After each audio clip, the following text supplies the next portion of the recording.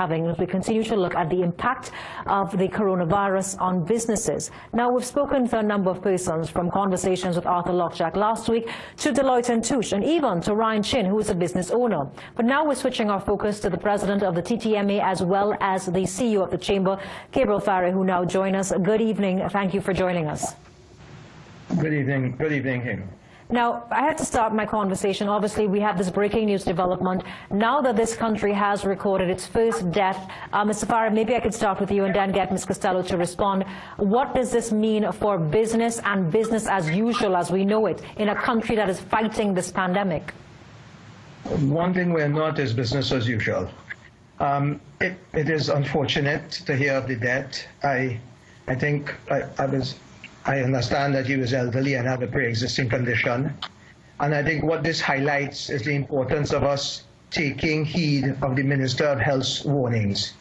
He has told us to practice social distancing. He's, he's given us all, all the advice. If we don't listen, we run the risk of him escalating the level of control. Right now, they're using suasion, and if we don't listen, I expect we could end up to looking at some sort of um, essential services only, or maybe some sort of further escalation. Um, I think what it tells us is take care of ourselves. Is it going to, and as far let me ask you this, there's a call by the opposition, and I don't want to bring politics into this, but we are in an election year, and this is somehow turning into a political discussion. Should there now be a shutdown of the entire country for 14 days? Um, unfortunately, I don't think so. I don't think so, Hema. I think what, what, what has happened is we have an elderly person who had the disease and they have died. It's, it's unfortunate, it's sad.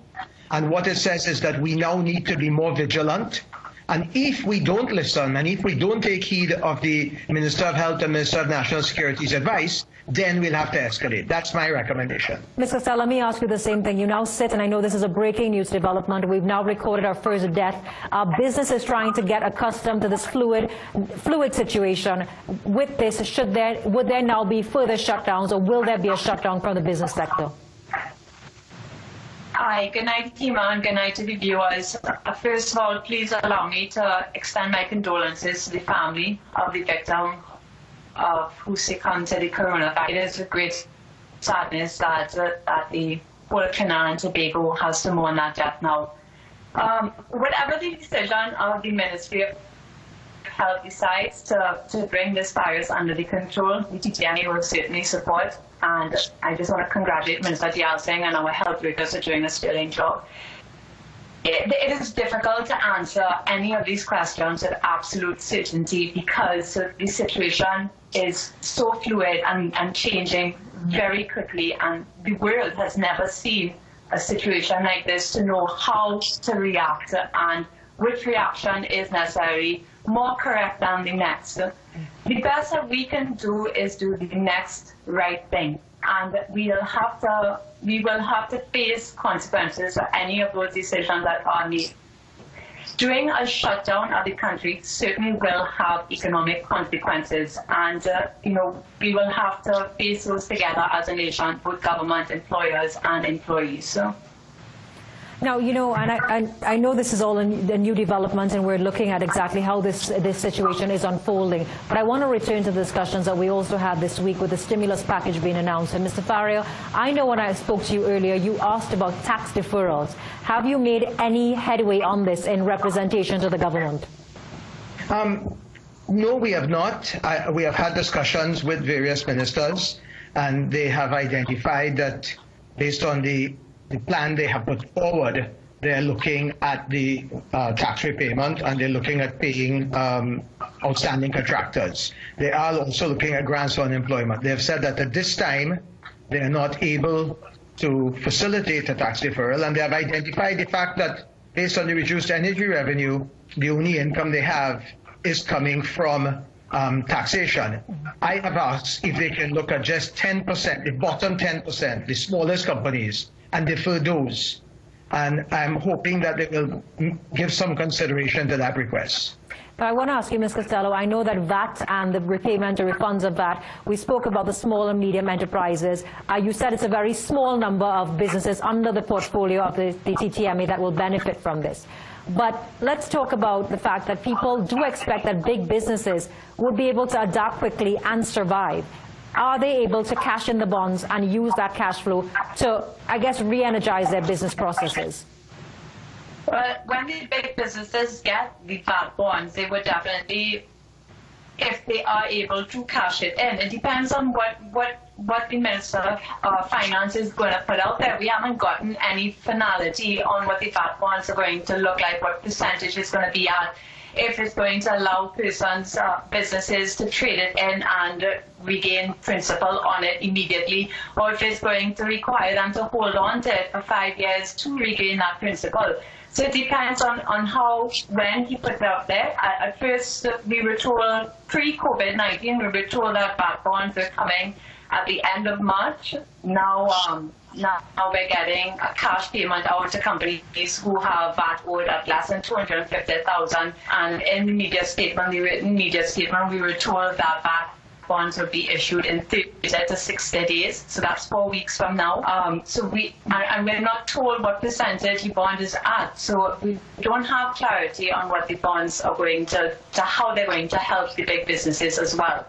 But even for, for the small businesses that have owed under 250,000, to, to put it into context, he announced that that's going to stimulate 9,000 businesses, and that is exceptional that it will do that for 9,000 businesses.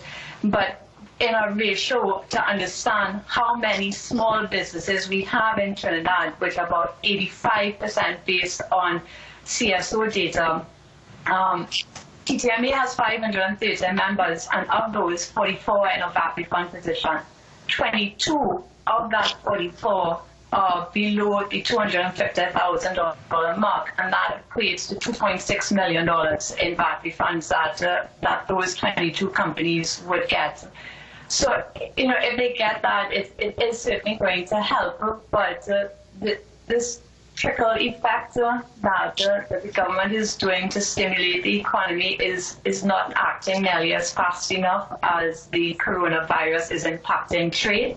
Mm-hmm. And uh, I, I fear that uh, when we get a shutdown state, that what is being put out there is not going to sustain small businesses. These small businesses look like um, our bakery, yeah. our gas stations, our hairdress, hair salons, our nail technicians, our veterinary clinics. So these, these are small businesses that we rely so heavily on, and they rely heavily on our trade. So their, their cash flow goes four to six weeks. March has already been protracted by 50%.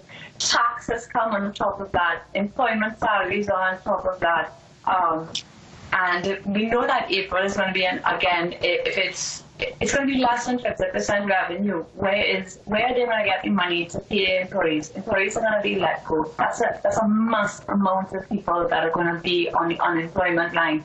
That 400 million unemployment package is not going to sustain the volume of people that are going to be unemployed. Now, I know that's a, a very, um, listening to you, it's a, it's a startling revelation there about, your predictions. But Mr. Faria, I do want to ask you in the couple minutes that we have, businesses and their ability to survive.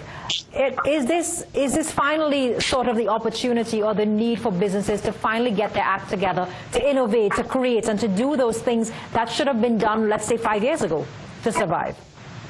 You know, when a situation like this happens, Emma, we have to understand we're in a new world order. I firmly believe that the future will not be an extrapolation of the past as we know it. We're not talking on about, about improving on what we did previously. We have to constructively disrupt ourselves. The businesses that exist today need to understand the importance of building a sustainable world going forward in the way they operate. They have to understand that they have to leverage new methods of doing things. I am actually optimistic that we will come out of this stronger failure is a rite of passage. There are businesses that are going to fail, and it is sad, it is difficult, but we will get better for this. And I am confident that out of this, a new range of businesses will come. You know, I look at outliers, and I mentioned, I think I mentioned to you before, there are outliers in the business community that have just started, they're three years old, four years old, um, and they, they, they started as entrepreneurs and they've built businesses based on technology and based on and based on disrupting the norm.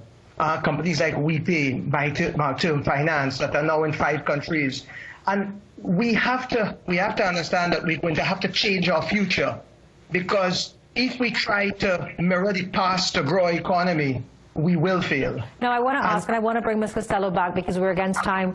Is there a light again at the end of this tunnel? Because I'm asking this in the context of the U.S. president has said that he's hoping that maybe by Easter it will return to a level of normalcy. Are you that optimistic for the Trinidad and Tobago economy?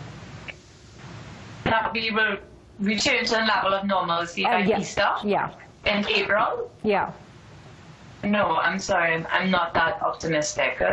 I, I, share some of Gabe's optimism in that a lot of companies will adapt and they will find a new way of doing business, uh, and that, of course, will happen.